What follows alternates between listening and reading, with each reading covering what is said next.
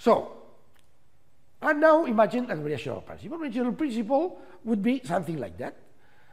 Given a certain space of functions, then we have a, a functional f, and we look for what is the element of the, so the function, that function, recall that now we are not looking for points. The, the points of the, the, the, that we are looking for are functions.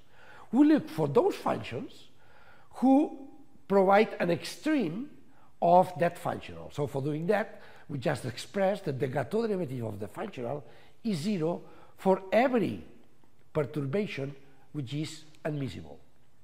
Okay? And imagine that finally, after mathematical operations, this is a general expression, that function can be expressed as, I insist, a function e times delta u integrated of omega plus a function t times delta u integrated on the boundary of omega. Well, on gamma sigma, because on delta u, that, that integral is zero because delta u is equal to zero, okay? And then, and then look, look, that is the most important point. There is a theorem which is not trivial to prove, but you can understand. If that, that function u that provides the extreme of this functional, so this solution, which, which fulfills this variational principle, it's also the solution of two sets of equations. Which one? That E, which is a function of x, ux, gradient of u, is zero in the domain, and that T is zero in the boundary gamma sigma of the domain. So in other words, in other words, that's the point. That's the point. These, in fact, these are partial differential equations. So these, now we'll see it, we'll see that these, for instance, are the Navier-Stokes equations, or the Navier equations for solids, which are functions of u, the displacements, the, and the derivatives of the displacement, right? Imagine that this is that. And they are fulfilled on omega, right? These are the gamma sigma boundary transition, uh, the uh, boundary condition. So that condition that has to be fulfilled at, the, at, at, at gamma sigma, typically the tractions, the equilibrium in the boundary, right? So these are partial differential equations or algebraic equations that have to be fulfilled at the domain and at the, uh, at the boundary, okay? So the solutions of that problem the solution of the problem are the same that the solutions that provide an extrema, an extremum for this variational problem. What is the, so what does it mean? That if I am able, by any means, of obtaining the solution of the problem, for instance, solving, as we have done in the past in problems, the partial differential equations, blah, blah, blah, blah, okay, we obtain the solution. That could be tough even impossible sometimes. Okay, but by some other means, I'm able to obtain the, the minimum. So what u, what is the u that fulfill the Degatto derivative for any directions, admissible direction is zero. If I'm always to solve this variational problem, the solution u is the same. And that is the key issue for that. So this is very natural to solve in computational mechanics? Well, not to solve it exactly. That is the basis that is very natural to solve of the, of the equations that are natural to solve approximately in computational mechanics. So the, since the solution is the same, if I solve that problem in, approximately, I'm getting an approximate solution of the original problem. So that is the issue. By using variational principles, we just solve the same problem, which are the original set of equations, and but by solving a problem which is given, look, in integrals, these are integrals. There are no integrals here. These are partial differential equations. These are integrals here. But the, the, the, the, the point is that the solution is the same. And this, as I said, is naturally uh, solved by using computational, computing, computational mechanics. Okay? So that's the link. We know that by solving that, we obtain the solutions of that. By the way, in mathematics, these equations that, if, imagine that I just get some variational principle, okay? Then I write the, uh, I am able, after manipulation, to write the variational principle in that way. This E is called the, this E, which are sets of partial differential equations, are called the Euler-Lagrange equations. These T, which normally are not differential equations but algebraic equations, are called the natural boundary conditions. Okay? And these conditions, u at x equal gamma u equals 0, are, are called the essential boundary conditions. So, let's do that in an example. Let's do that in 1D. Imagine that I have a functional in 1D, use a 1D function, def defined in, a, in an interval AB over R, but with some prescription. So at the point A, at the origin of the interval, we prescribe that this functional has to take the value P. Okay? And now we want to compute, we want to compute with this that function all that functions, so by replacing here u such belonging to this interval, uh, so all the possible functions fulfilling this prescription, what is the one that makes minimum the result, f? That's the, the concept of minimum of a, of, a, of a functional, okay? So what is the mathematical equation for that? That the Gateaux derivative of f at point u the solution that you are looking for, for any variation delta u is equal to zero. Okay? So let's do that.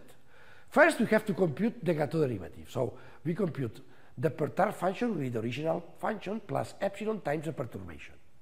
By the way, if at any point we can want to compute the derivative of this function, that would be u prime plus epsilon eta prime. So we have to differentiate also eta prime. By the way, we have to, to pose that eta has to be zero at the part of the boundary where we have prescription. Since u has always, we are just considering that set of functions that at the beginning of the interval are zero, so eta, the perturbations, have to be zero at the beginning of the function. Okay, so now we replace in the functional u plus epsilon eta. Instead of u, we replace here u plus epsilon eta in here. And instead of u prime, we replace u prime plus epsilon eta prime. Okay? So the derivative would be the derivative of that with respect to epsilon when epsilon tends to zero. So we do that. We do that, we do that. We operate. We also do some Uh, iterating by parts. That's what we have here. And finally, finally, not trivially, but almost trivially, from the original problem, so finding a local minimum of u, the, the functional f of u, define it in that way. Look that e, phi can be any, okay? With the boundary conditions of the functions prescribed at the origin of the interval to certain value p, translates the Gateaux derivative, translates into that an integral of the, or, or, on the original domain of derivative of phi with respect to u times delta u plus the derivative with respect of x of derivative of phi with respect to u prime times delta u plus this term here at the boundary. So that is the Gateaux derivative. Well, now, what are the Euler-Lagrange equations of that? The Euler-Lagrange equation is that what multiplies in this integral? The kernel of this integral, the kernel of this integral equal to zero in the domain, and the expression equal to zero at point B. So, finally, the Euler-Lagrange equations are this part being zero at all the interval, and this part being zero at the boundary B, the boundary which is not prescribed. Look, that is a set, a partial differential equation. That is a partial differential equation. And this is a boundary condition. So if I solve this equation, I would find, I would find the solution of the problem. This is the Euler, these are the Euler-Lagrange equations. Those are the natural conditions, and the essential conditions are the ones that we come from that the function at the, at the point A, at the beginning of the integral, takes the value p. So, in other words, given any functional, any functional like that, giving that functional, we can find the Euler-Lagrange equation of this functional, those. We could find the natural, the essential, the natural boundary conditions, those. How do we find them? Well, what we have done, we just set the Gateaux derivative, operate, and obtain that expression here, and that part here is what defines the Euler-Lagrange equations, and that part here is what defines the natural conditions. And this is a set of partial differential equations whose solution makes minimum, what is the solution of that? Well, the solution of that is a function u, u. So that u is the one that will make the minimum of this functional. Okay? So, in other words, the duality of a set of differential equations, partial differential equations, with boundary conditions, and a functional who's, who are uh, looking for an extreme in a functional is the one that we are playing around today. Any time that we have a partial differential equation, that is equivalent to minimizing a certain functional or maximizing, so looking for a or certain functional. Or the reverse. Every time we have the a, a, virtual a virtual principle, so a minimization of a functional, this provides a certain differential equations to be solved. They are equ equivalent. The solution of both are the same. Well, uh, now we know what is a functional, and that functionals and variational principles, which are minimization of functionals, okay, provide solutions which are equivalent to solutions of certain boundary bounding problems, so certain differential equations with certain prescriptions in the boundary, restrictions in the boundary, which can be essential or natural boundary conditions. Okay, so let's see how this appears in uh, continuum mechanics. So, imagine that we have, as I said before, we have a domain. Let's call the domain omega of V, as we want. Well, omega is the domain, B is the volume of the domain. You can call uh, as, any, as we wish. Part of this domain has some prescriptions, and part of this domain, gamma sigma, has the new, the now we call the, the uh, traction prescription. Okay. So we look for what would be this being a continuum medium, what would be the Euler-Lagrange equations of this problem.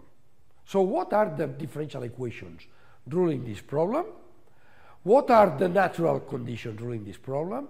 And what are the essential conditions ruling this problem? Can we identify them? Okay. So first, we have to define the variational form of the problem, the variational form of the problem. So we look for the problem of the continuum mechanics problem, we look for expressing them, expressing it in a variational form. So something that multiplies delta u on V and something that multiplies delta u on gamma sigma integrated on gamma u and gamma sigma equals zero for any delta u belonging to some admissible, admissible space of functions. What is the space of function? Well, first, the space of function is those functions that stand for displacements of this continuum medium. These are what I'm looking for. We're looking for the displacements. This is the goal that we have in displacement-based displacement-based formulations in continuum mechanics. Okay.